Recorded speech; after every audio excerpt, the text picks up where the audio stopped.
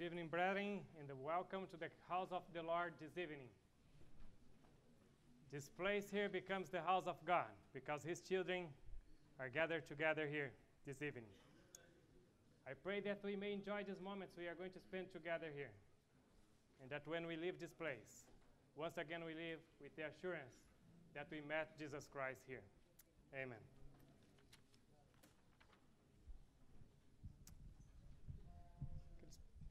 Remote control for this?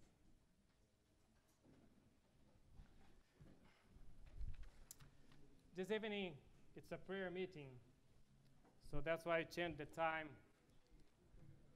It was not as usual having the worship right after the session. Uh,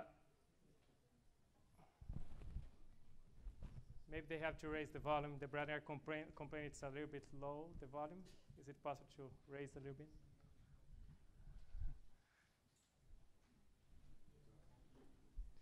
Yeah. Can you hear now, Brady? On the back there? Good? Okay. So, we might not be able to take all the prayer requests, but there are some prayer requests that have come to the front. I'll read them first, and then uh, I'll let some of you, brethren, to express yourselves also and make your prayer requests for this evening. Uh,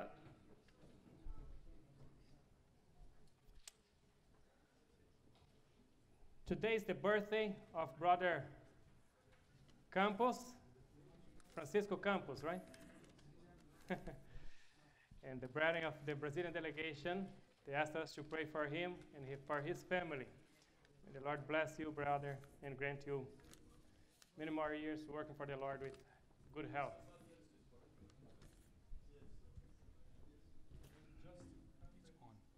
Thank you.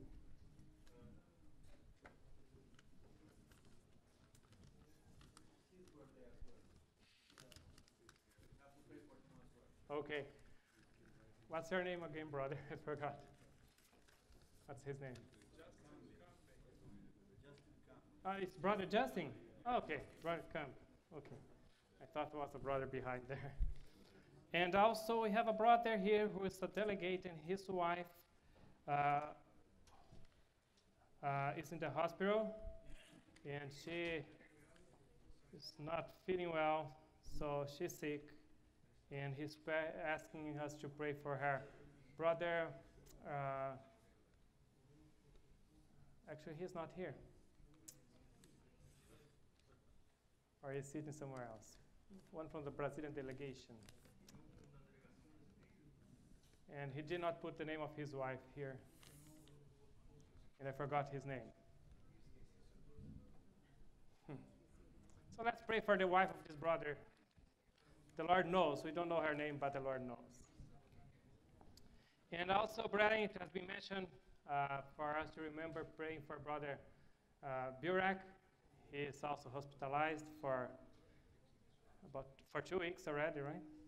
Yeah. And uh, we are glad uh, we received this evening a message from the family saying that there are signs of some improvement these last two days. So let's keep praying for brother Burak. And I would like also to ask you to pray for my mother. Her name is Maria. She last week she had a heart attack followed by a heart arrest of six minutes. My mother, and uh, that's when I learned that heart attack is not the same of heart arrest. These are two different things. but uh, she had a heart arrest of six minutes, and I was with the brethren already in Roanoke. We were praying for her, and the Lord has been answering our prayers. The doctors, they were kind of skeptical that she would survive, but she survived, and they were guessing since she survived, they thought she would be with some uh, problems because it was a heart arrest of six minutes, and usually the person remains with some traumas from it. But thank God she is recovering well, with no problem. She's talk, speaking, I talked to her, and she's eating, she's doing well. They are just holding, still holding her in the hospital, just for precaution, but she might be leaving soon. So pray for her as well. Yes, Brother Centroamericana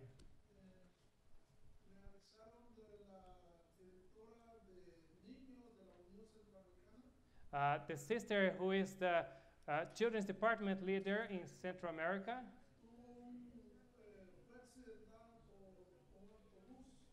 she had an accident with a uh, bus, and uh, we are requested to pray for her as well.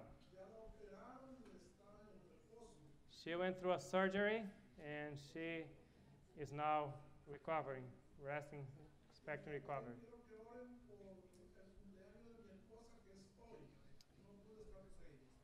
Brother Padilla uh, asks us to pray also for his wife. Today is her birthday, and she uh, he's not there with her, so she's not doing so well, far from him. yeah, let's pray for Sister Padilla. Yes, what's the name of your wife? Yeah, I, I mentioned, but I could I don't know the name.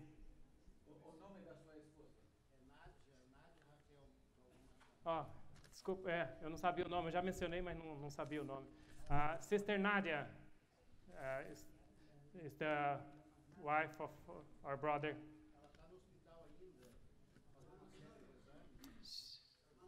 She's, she's still in the hospital, uh, doing some exams. She has been feeling a pain in her chest since uh, last Sunday.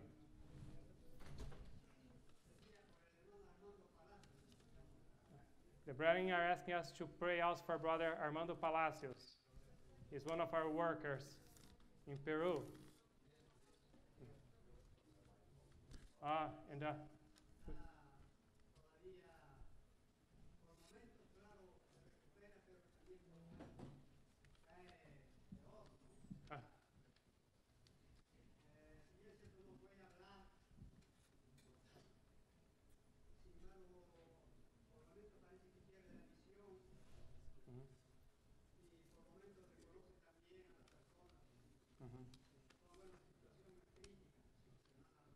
So our, our brother Armando Palacios is one of our workers in Peru. He's also in a critical situation, and the brethren are requesting that we pray for him. And we have been praying also uh, during our meetings in Roanoke for Sister Cruz. Uh, she's the wife of Brother Jurei Cruz, and she's sick as well and recovering, but she went. Uh, she also was submitted to a surgery. So let's pray for Sister Cruz as well. Brother Joel Ramos.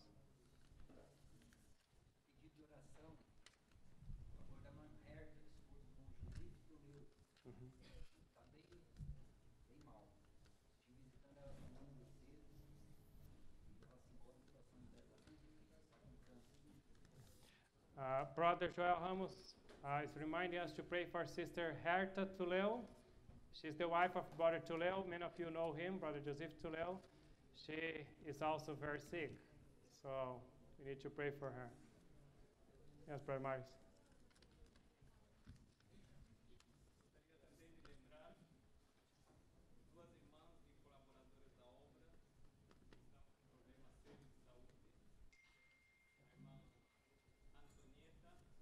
Gostaria também and Sister Natalie. There are two workers, sisters that uh, work also for the church.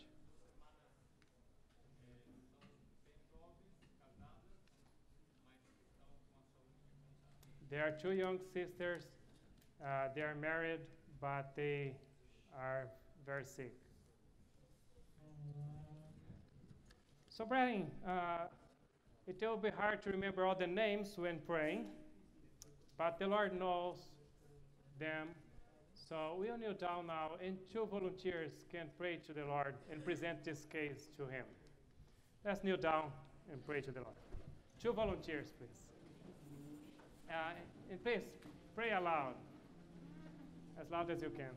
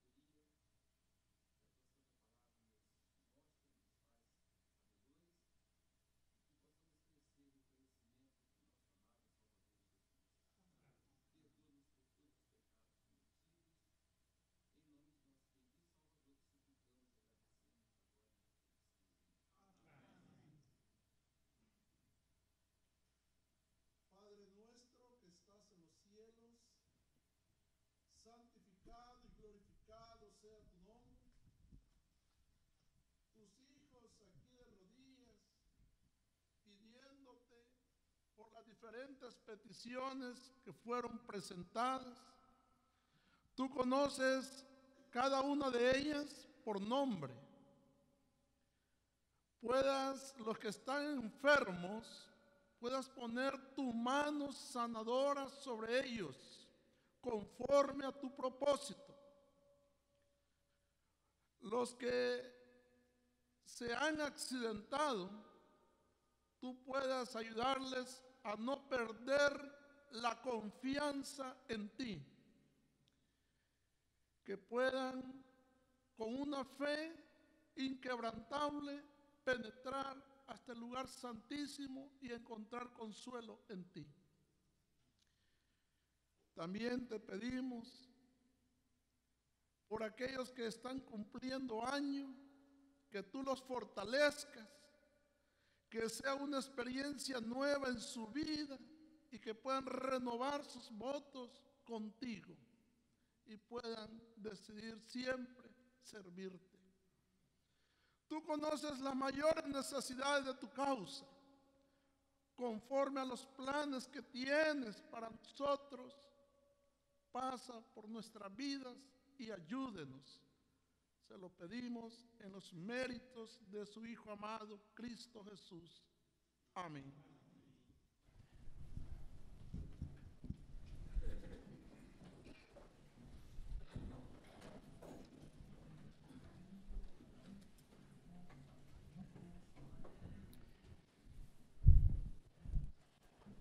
So, brethren, there are, there are moments in life when life becomes complicated. And I want to read with you once again the verse that we read in the beginning.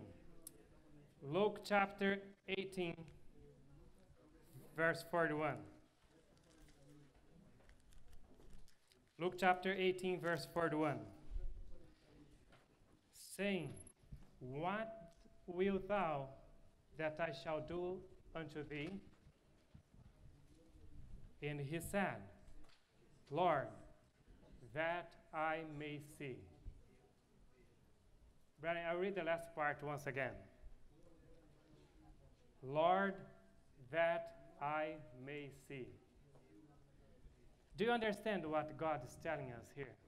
What God is telling you? There are moments in life when things get really complicated.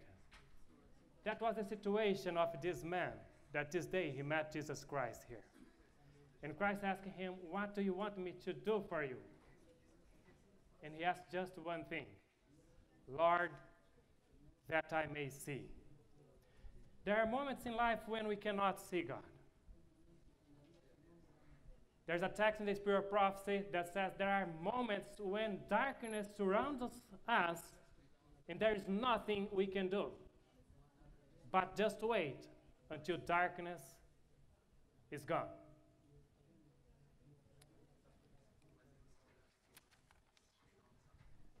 This man that met Jesus here, you all know the, the story. He was a blind man. And what he most wanted in his life, he asked Jesus, that, that I may see, Lord.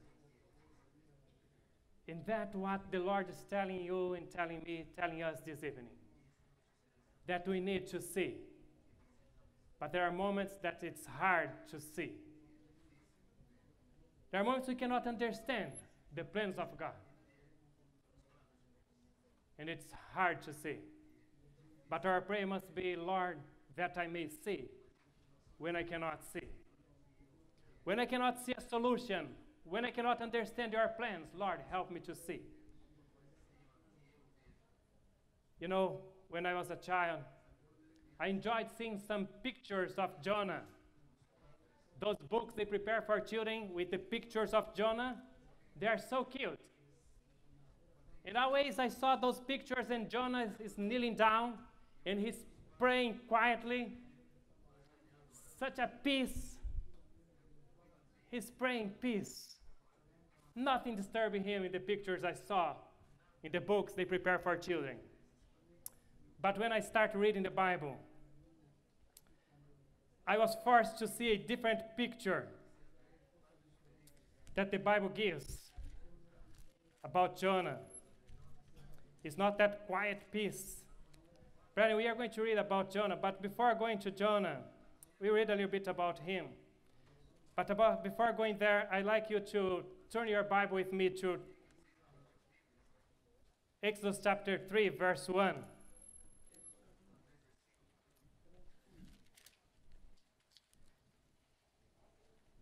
Exodus chapter 3, verse 1.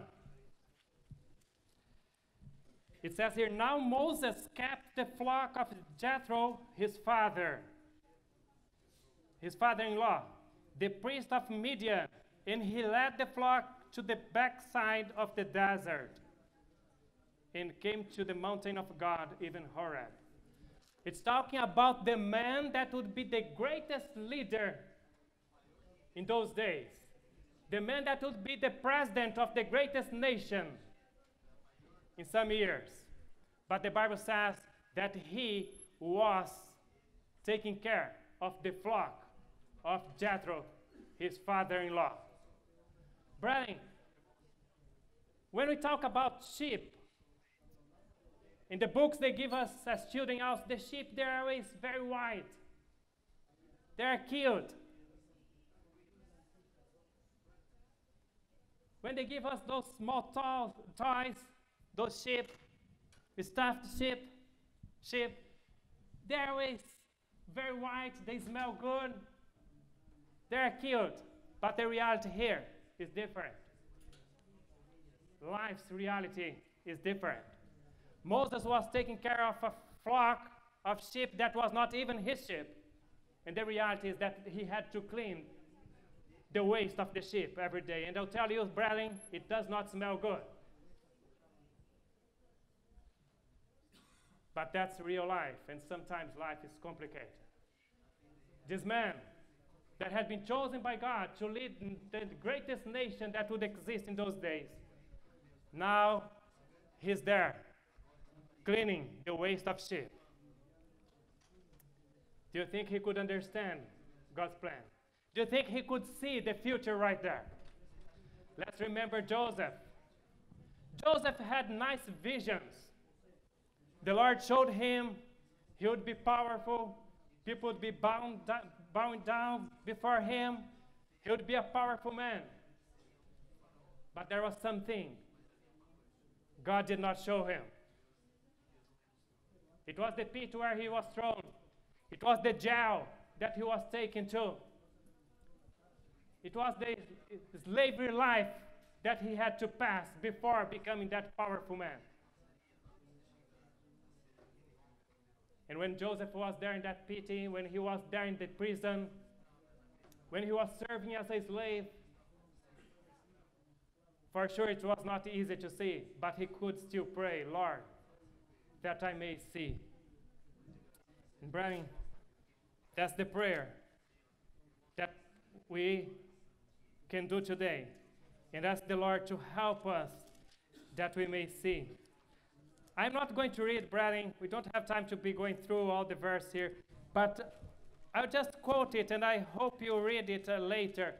If you have never pictured Jonah as it is registered here in chapter 2 of Jonah. You know, it was not that man that was quiet there praying, peacefully praying, with a calm semblance. That was not, that's not what the Bible pictures here. When you read chapter 2 of Jonah, he says, Lord, I am in hell. He says, I am in hell, Lord. And the Bible tells us that the water was coming over his head. So can you imagine this man trying to breathe? That's the situation he's praying there, inside of that fish. The Bible tells there in chapter 2 that the weeds were coming to his face when the well was turning over and over. He could not find where he was. When he would find a way of getting up and breathing, then there were weeds all over his head, over his face. brethren, it was not easy. Life was complicated for Jonah in those moments. And the only thing he could do was to pray and say, Lord, that I may see your, the plans you have for me. But one thing that is interesting about the life of this man, all of them, God had a plan for them. And brethren, maybe today you cannot see the plan God has for you. Maybe there in the corner where you are working, where the Lord has placed you, you face trials, you face problems. But that's real life problems and trials. But do not give up. God has a plan for you as well. Today, brethren, people are all over searching for happiness. People are buying cars, bigger cars. People are buying houses, bigger houses, trying to find happiness. People are accumulating money, trying to find happiness. But the true happiness, only Jesus can give. People are looking wrong place. Members of our church, the members in my church, in your church, in our church, they are looking for happiness, seeking for happiness. There are people inside the church that, that have never seen, that need to see. They have never seen the radiance, the brightness of Christ's light shining for them. But they are searching for it in wrong place. Happiness only Jesus can give.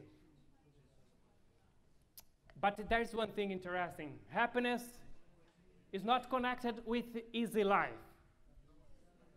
When we talk about Christians, Christianity, when we read about the Christians in the Bible, what do we find? Do you, have you ever find in any place in the Bible saying that the disciples they were partying?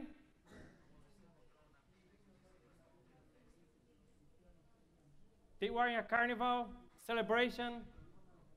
No. When we find the Bible, the words we find in the Bible are, are words like fight, wrestle, battle, endure, agonize, die, famine, stoning, crucifixion. Sometimes life is complicated, and it's complicated for Christians as well. But God has a plan for all of us that one day gave our lives to Him. And when life becomes complicated, we can pray, Lord, that I may see what you see and what I cannot see right now. Sometimes we don't understand God's purpose. I read the experience of an elderly man This elderly man, the story says he had a horse. And it was a beautiful horse. And the horse was coveted. People wanted to buy that horse from him. And uh, he lived in a small town. And the people came and asked him and said, We want to buy your horse. And he said, I cannot sell the horse. It's more than a horse. I have it for a long time. It's more than a horse, it's a friend I cannot sell. Sometime later, the horse disappeared. And the people in town started saying, This old fool man, what a foolishness. If he had sold the horse, he had made a good amount of money. And now the horse is gone.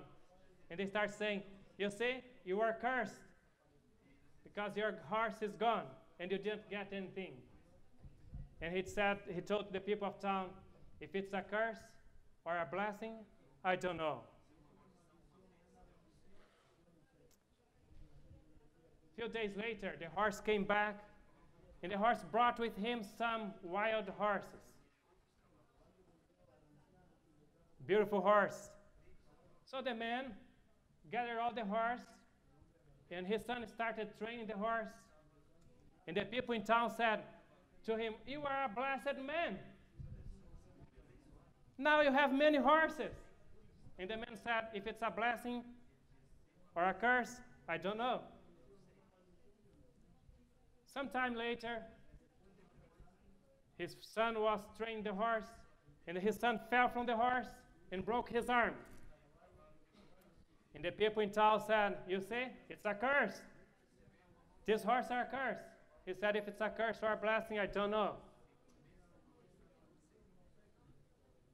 Short after, the country broke in war, and the young people were taken to serve the army, and his son had his arm broken and was not drafted. So the people in town said, That's a blessing. Your son doesn't need to go to the army. And he said, If it's a blessing or a curse, I don't know, people. I just know that with you, I can do nothing. So, brethren, is it a curse or a blessing? We don't know. When trials come, we have to trust in God and leave it in His hands. Because sometimes we say it's a curse, and it's God that is sending. And we say, that's the devil, he's sending it to my life. And we are calling God devil because it's the Lord that's bringing it somehow to our lives. And sometimes we say, that's a blessing that God gave it to me. And sometimes it might be someone else that gave it to us. So if it's a blessing or a curse, we don't know.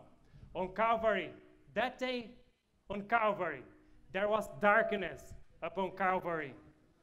And the inspiration says, the cloud of vengeance which threatened only misery and despair.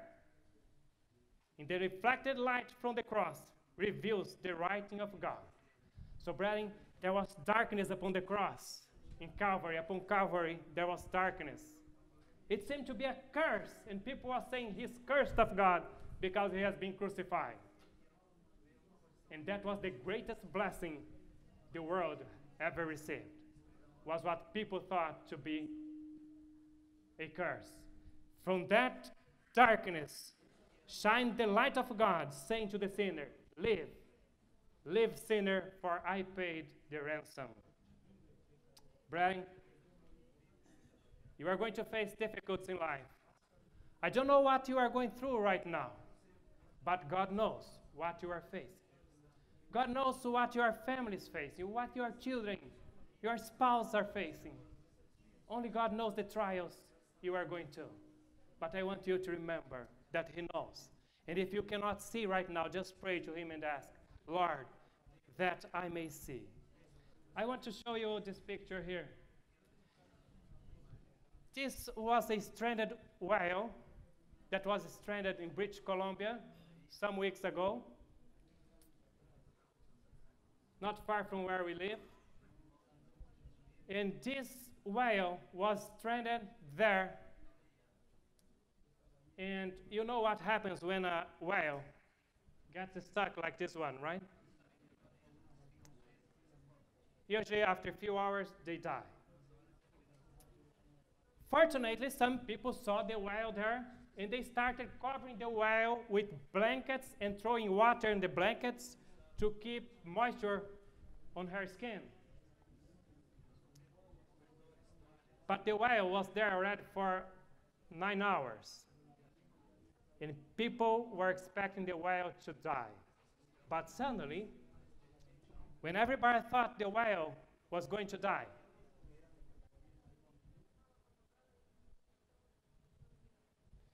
uh, maybe the brother inside can move uh, the picture for me. The remote control seems not to be working.